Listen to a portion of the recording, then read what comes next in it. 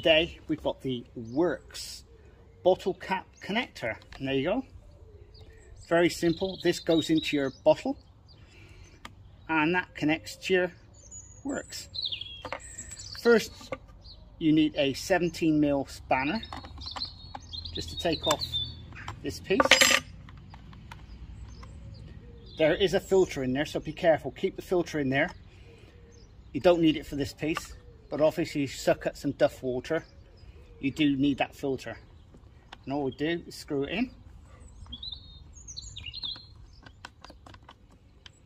Very simple. And then obviously you know what's next.